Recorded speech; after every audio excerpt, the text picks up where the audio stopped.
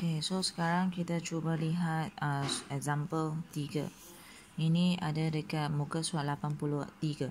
Okay, the diagram on the right show the circle of the radius OP is perpendicular to the core of the AM.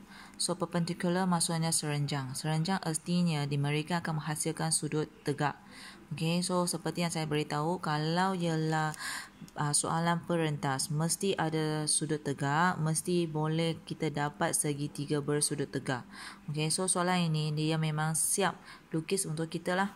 Okay, so adakah panjang MS sama dengan panjang NS, uh, SN? Jelaskan.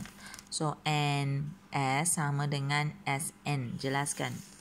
Panjang mereka sama, ya, kerana jejari telah berserenjang dengan MN. Kerana berserenjang ini artinya kita potong garisan ini secara purata, secara sama rata. Kita pot, kita bukan bers, uh, menghasilkan bersudut tegak je. Kita lagi memotongkan mereka dalam uh, garisan eh dalam uh, kita kata pecahan yang serata. So mereka mempunyai panjang yang sama. Okey, so sekarang dia kata jika sekarang jejari bulatan ialah 10 cm dan OS ialah 8 cm, cari perentas MN. So sekarang ini pun sudah di label. Jejari ialah 10, OS ialah 8. Kalau OS diminta telitikan, OS ialah bahagian sini je. Okey, bahagian sini je. Dia bukan jejari, jejari ialah OP. So dia nak sahaja sampai perentas. So sekarang ialah 8 cm. So OM masih ingat saya beritahu OM ialah apa?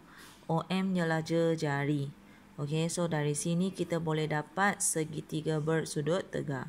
So cari panjang MN. So nanti saya apabila dapat panjang MS, saya boleh sahaja darab 2 ataupun tambah dengan nombor yang sama MS. So saya akan dapat MN. So inilah langkah saya. Okay, so sekarang kita lihat apa yang boleh buat. Yang pertama, MS ini ialah garisan ini. Bukan garisan yang condong yang paling panjang. So, susun balik saya perlu ambil yang paling panjang. Tolaklah satu garisan yang saya sudah ada nilai tersebut. Okay, so kuasa dua tolak. Punca ialah kerana memang dekat siap sini saya sudah siap tulis MS. Saya tak kuasa dua kan, so punca memang siap ada dekat sini. So, ini terpulang dengan awak sebenarnya.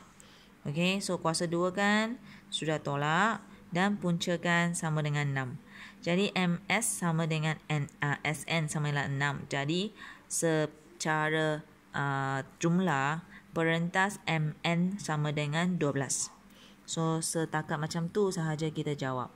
Kalau perentas boleh lihat sebenarnya memang sangat bergunakan teorem Pythagoras. So saya harap pelajar boleh tengokkan apa yang sudah berlaku tentang teorem Pythagoras. Okey, sekian terima kasih.